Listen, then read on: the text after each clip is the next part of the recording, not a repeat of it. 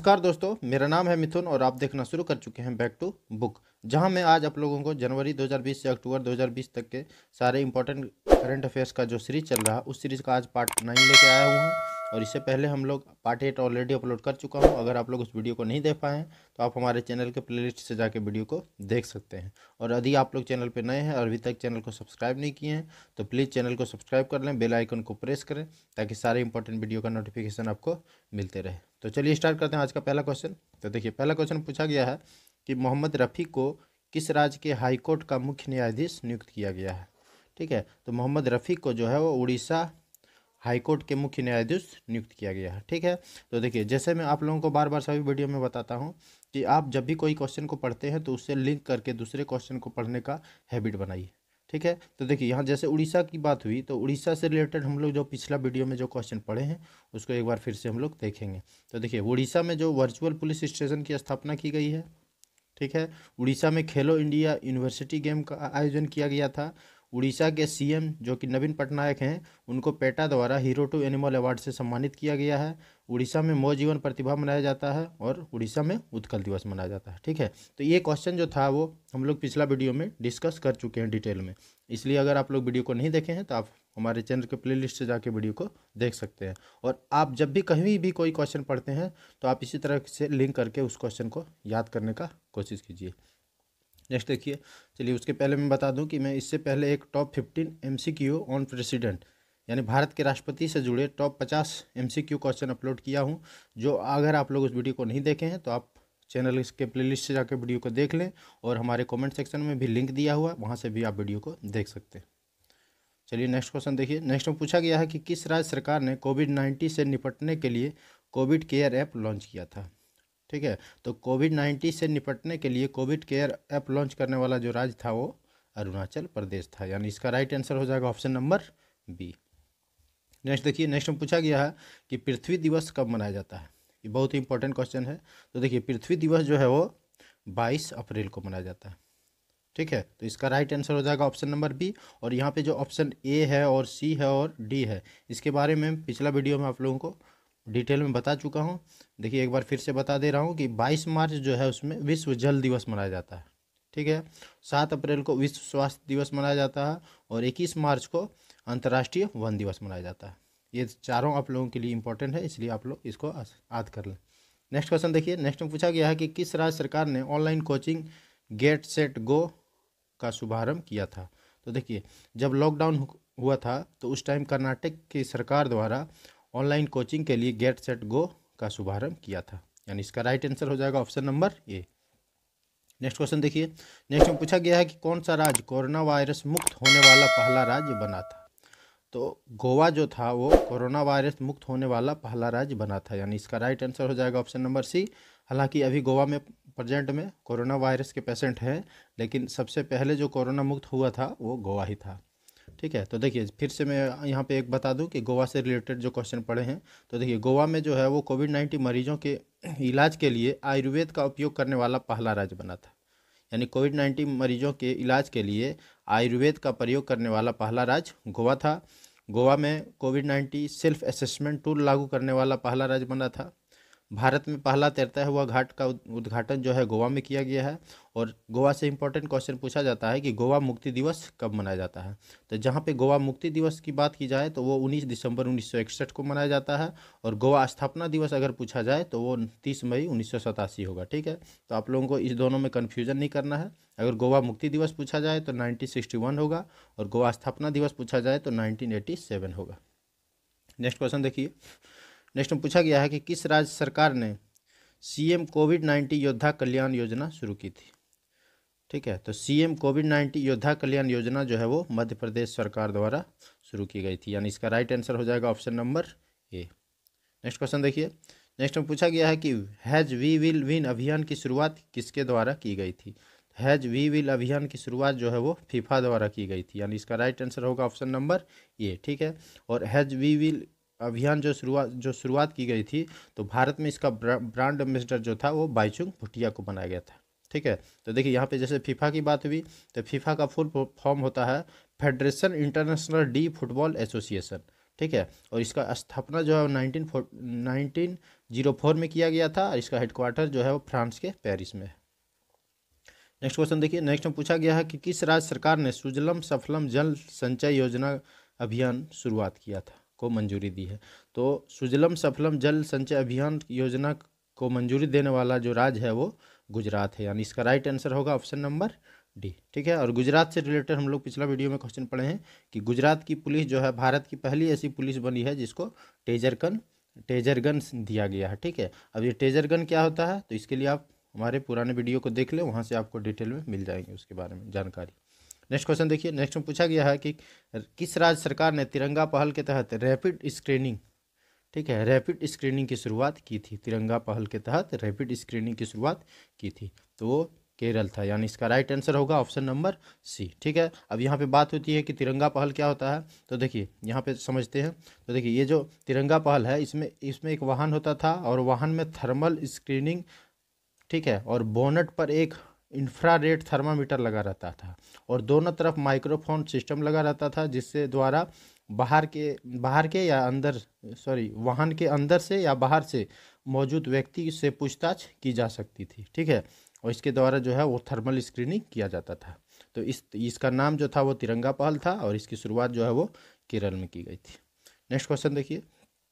Next में पूछा गया है कि किस देश ने अपना पहला सैन्य उपग्रह नूर लॉन्च किया है, ठीक है? तो ईरान जो है, ईरान का पहला सैन्य उपग्रह जो है वो नूर लॉन्च किया गया है। यानी इसका राइट आंसर हो जाएगा option number B next question देखिए। नेक्स्ट में पूछा गया है कि आई एम एम ए के नए अध्यक्ष कौन बने हैं? ठीक है तो आई एम एम ए के नए अध्यक्ष जो हैं वो राकेश शर्मा बने हैं। यानी इसका राइट आंसर होगा ऑप्शन नंबर बी और वी के यादव के बारे में जानते होंगे, ये रेलवे के अध्यक्ष हैं और राजीव कुमार जो है वो नीति आयोग आयोग के उपाध्यक्ष हैं। और नीति आयोग के जो अध्यक्ष होते हैं वो भारत के प्रधानमंत्री होते हैं। ठीक है, देखिए तो आई एम ए ये हैं राकेश शर्मा और आई एम एम ए के फुल फॉर्म होता है International Motorcycle Manufacturers Association next question देखिए नेक्स्ट में पूछा गया है कि किस राज्य सरकार ने एप्त मित्रा ऐप और हेल्पलाइन नंबर लॉन्च किया था? तो कर्नाटक सरकार द्वारा एप्त मित्रा ऐप और हेल्पलाइन नंबर लॉन्च किया गया था। यानी इसका राइट आंसर हो जाएगा option number A next question देखिए नेक्स्ट में पूछा गया है कि बी डब्ल्यू एफ़ के आई एम बैडमिंटन अभियान का ब्रांड एम्बेसडर कौन बना है? ठीक है तो बी डब्ल्यू एफ़ के आई एम बैडमिंटन अभियान का ब्रांड एम्बेसडर जो है वो पी वी सिंधु बना है, यानी इसका राइट आंसर हो जाएगा option number A next question देखिए नेक्स्ट में पूछा गया है कि किस देश ने एक नई currency D C A P launch किया है? ठीक है तो चाइनीज़ चाइना की एक नई करें डिजिटल करेंसी जो है वो D C E P launch की गई है, यानी इसका राइट आंसर हो जाएगा ऑप्शन नंबर बी नेक्स्ट देखिए नेक्स्ट में पूछा गया कि वर्ल्ड फ्रेश फ्रीडम में कौन शीर्ष पे रहा है? तो वर्ल्ड फ्रेश फ्रीडम में जो है वो नॉर्वे टॉप पे रहा है और इसमें भारत का रैंक जो है वन फोर टू है। ठीक है? तो यहाँ पे हम लोगों को दोनों याद रखना है कि पहला रैंक किसका है और भारत का रैंक कितना है। यानी भारत का रैंक जो है वो बहुत ही खराब है।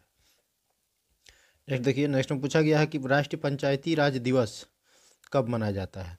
तो राष्ट्रीय पंचायती राज दिवस जो है वो चौबीस अप्रैल को मनाया जाता है। इसका राइट आंसर हो जाएगा ऑप्शन नंबर डी और option number A, B, C जो है, उसके बारे में पिछला वीडियो में डिस्कस कर चुका हूँ, इसलिए आप अगर नहीं देखे हैं तो आप वीडियो को देख सकते हैं।